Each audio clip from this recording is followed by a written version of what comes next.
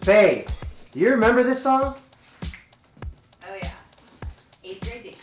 Mm. Our first kiss. And our last.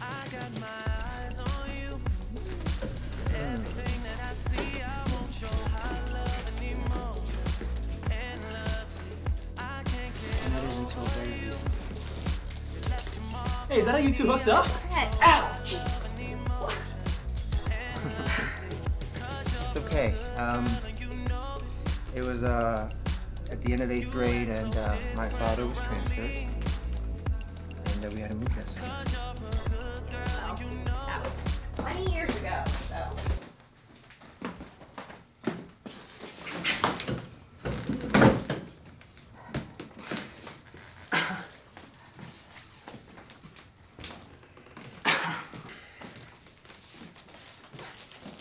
Well, um, I I heard about the reunion,